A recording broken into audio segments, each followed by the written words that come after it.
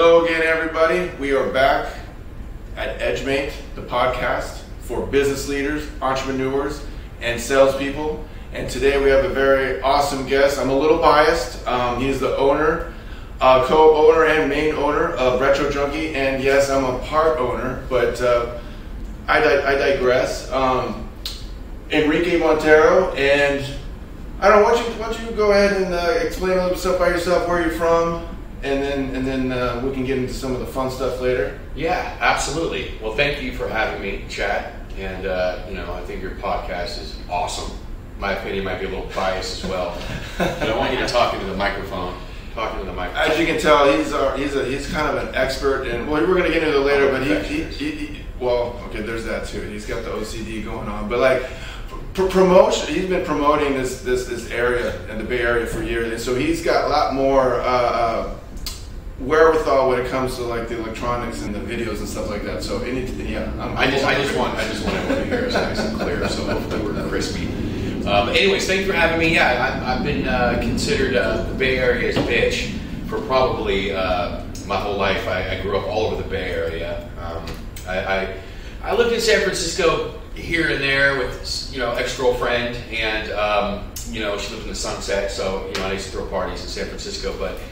Um, I, the East Bay is my home, you know, and that's where I, I dwell, and that's where I was raised. In East Bay, Retro Junkie, Walnut Creek, Walnut Creek, California. 2112, South Main, no, North Main. Yeah, that's right. North Main, on Main Street. That's right. And uh, yeah, it's been awesome, man. And you know, you're a huge part of it. I mean, you know, obviously, uh, you're part of the journey with everything. I met you um, throwing nightclubs out here when I was doing, I think it was Love and Propaganda. Well, yeah. So the way we met, interesting enough, my industry, and I forgot to mention, is obviously I helped companies get to the edge, um, getting uh, technology solutions that get you closer to your customers, your data, and your employees.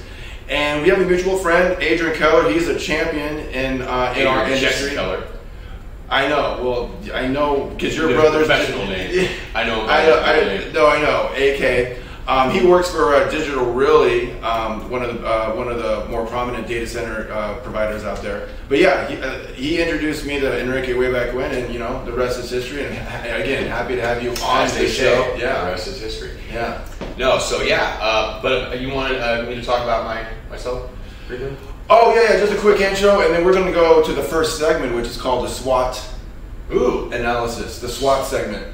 SWOT analysis. I like that. Yeah. Um, It's well, an it's an MBA term. I like it. I like it, dude. NBA, like the Warriors game we're about to go to. Uh, that's NBA. Um, Oh, NBA. Yeah. Just kept trying to bring humor here. All right, No, the NBA SWAT analysis would be like if you throw up a shot and you're swatting it out of the, the Right. into, into the yeah. I almost cussed there. We can't do that. I got that. Yeah, you're you're more basketball player than I I ever would be. But uh, yeah, so Retro Junkie uh, is the business that you invested in, and um, also my best friends, Allison and Trent. It would Yep. have been possible without them. And it's Big ups. That's right, dude. It's a you know, so we're we're 50-50. I am the managing partner, but they're just as important uh, in the whole aspect of the business, you know, and I couldn't do it without them. Um, but uh, you know, we're blessed. You know, if you haven't heard of Retro Junkie, it's a, uh throwback bar in uh, Walnut Creek, and uh, it's awesome. And you can go to retrojunkie.bar.com. You can check out our website, see all our upcoming events. Tonight, uh, we have a Tom Petty tribute. Oh, my and, gosh. Uh, and then we have another band uh, uh, called Cheap Trip, which is a, a, a, cheap cheap trick. Um, so it's like No, that's so money. Like like these are yeah. I mean, this is the tribute bands and some of the ones that you get are like like I think tomorrow is Guns and Roses. Tomorrow is Roses and Guns.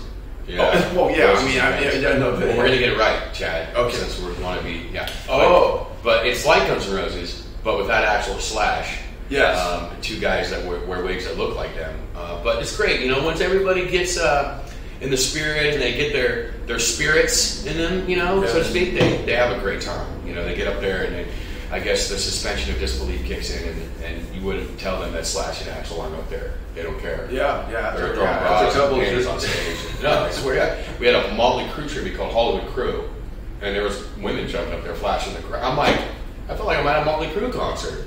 You know, I think we just I think we just gained I think you just gained three patrons right there with that. I story love it. So go to. Hollywood Crew is coming up. If you want to be a part of the Donkey Show, you can jump on that. Yeah. Anyways, so that's what Retro Junkies about. It's a lot of fun. We have a DJ at 10:30 um, afterwards. Um, closes out the night, does throwback, and, and a lot of fun. And it kind of brings you back to a, a simpler time when when I feel music was was awesome, rock and roll. The air was clean. Well, yeah, just let's jump into the SWOT. Um,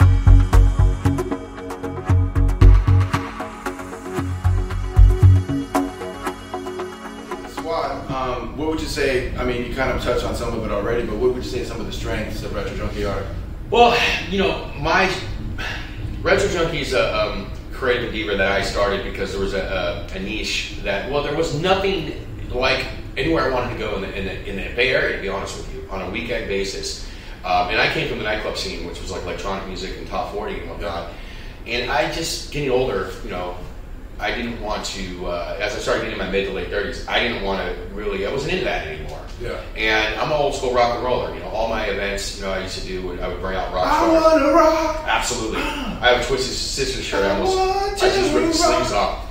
And so I basically would do stuff different where I would incorporate an element of rock into my parties. You know, I'd bring out a Tommy Lee, my was my resident DJ. Yeah. I had him come out and DJ uh, for about a year. I had uh, Jonathan Davis from Korn you know, stuff like that. And, and, so I would do stuff that I thought was different always, even in my parties and events that I was doing in San Francisco. Um, so when I was at Walnut Creek, I basically needed to find something that was like that. There was nothing like that. You have your typical dive bar, you have your typical bar that you just sit there and you just basically drink your pints of beer and watch the paint peel off the wall. And for me, I need more than that. You know, I need, um, you know, I need entertainment. I, you know, I want to celebrate a birthday. I want to do something special. I want to, a friend comes to town and I want to show off my town. Where am I going to take them?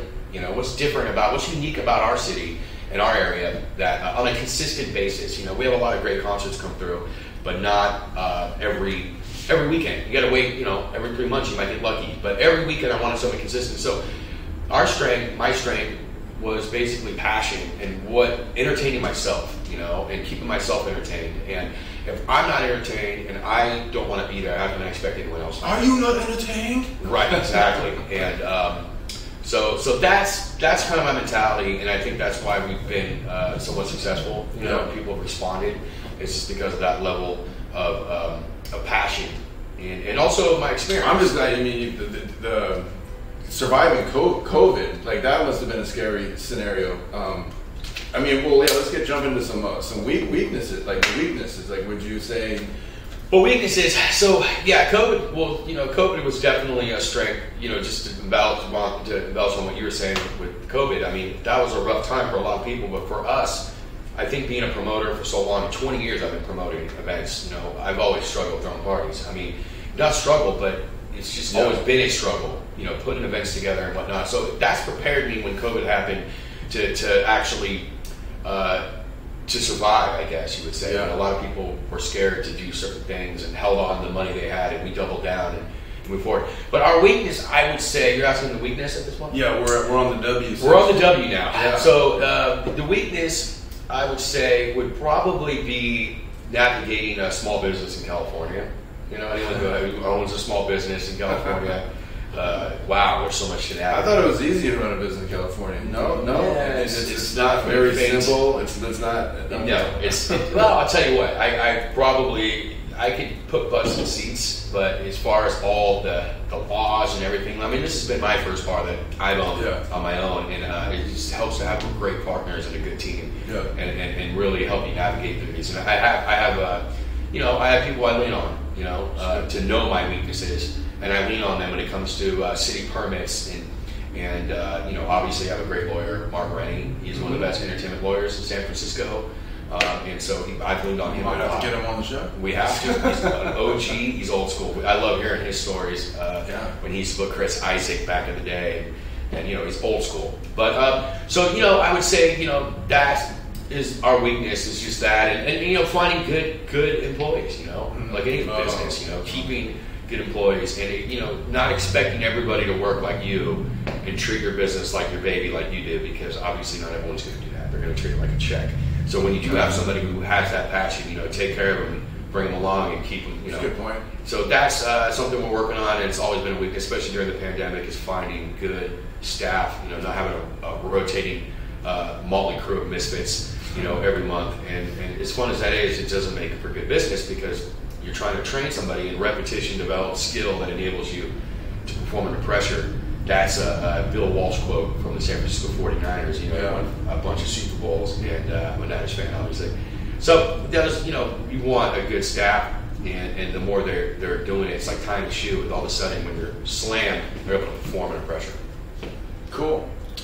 So now we're going to go on to the O SWOT the of the SWOT category, and that would be opportunities. What do you, where do you see some opportunities for? Uh, Well? Um, well, you know, I believe that every, uh, not me, everyone asks me, you know, when do you, can you open one of these in our town? Yeah. We have a lot of people that come to Walnut Creek in, in the East Bay, and they're, um, we're in between two Marriott hotels, so we get a lot of tour, a lot of people coming in, and, oh, I live in Texas, you got to open one of these in Texas. so I believe there should be a retro junkie bar on every main street in America. Not everyone, but the ones that, you know, are cool. And uh, so the opportunities Or at least near an NFL city. Yeah, you know, uh, the suburbs, you know, somewhere in a, an affluent city like Walnut Yeah. Creek, uh, but it's got to be outside, outside the city, you Mhm. know. I think, but uh, so I would say like an Orange County area, you know, um, uh, maybe like uh, Scottsdale, maybe I don't know, you know, somewhere outside of Phoenix, Yeah. stuff like that. So um, the opportunities there, um, there's a lot of opportunity. There's a lot of people that want to invest as well, um, and you know, being open now for five years, you know, we could get our own uh, capital as well, easier than we would when we first started Yeah. out. We had to go to private funding to my friends and family and whatnot just to to get what we needed to, to get where we're at now. So Sure. um, that's pretty much the opportunity I'm looking forward to, and uh, yeah, just about ready to take that leap. Hopefully soon. Second location. Yeah, that would, that'd be fun. Um, and conversely, uh, threats, possible threats to retro junkie. Threats.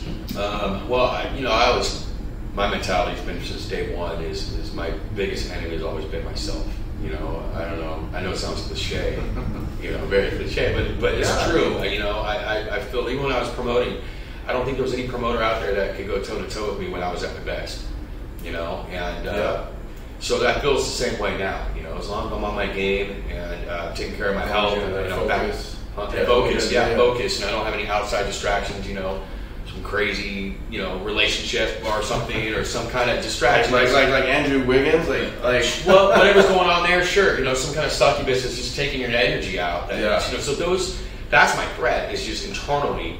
You know, I think. Uh, you know, there's obviously the external threat. There's, there's there's threats from an outside perspective with competition. Obviously, that's healthy. You know, I don't mind. I mean, Yeah, all, had- all, all ships rise with the tide. Absolutely, I thrive under competition. You know, you know, and that's for me. It's like I'll take the Pepsi challenge with anybody. I've had bars come in town trying to copy us, book bigger tributes, and uh, it just doesn't work that way. You know, you lack the passion and the ingenuity to actually to, to, to sustain that. I like how you answer that. Most, I mean, I'm, I'm, I'm in sales, right? And most people are afraid of competition, but you, it's friendly competition. You, you I love welcome it. and you can learn, and you can learn from that, and then and then challenge Yeah, step yeah, up your yeah, and that- that's what yeah, yeah, competition yeah. is good. Yeah. It's, it's, it's, Yeah. it's the opposite, obviously, of monopoly. You want it's healthy, you know, and, and that's what keeps it fair. And, and, and you know, and because of these competitions of people trying to compete with us, it's, it's made us kind of change things and give more value. Where maybe Sure. before we haven't offered more value to our clientele. rest on your laurels. exactly. So, anyways, I like it. Cool. Well, that was awesome. Yeah. That was a great explanation of your business, and now uh, we're gonna kind of get into some of the fun stuff. All right. Uh,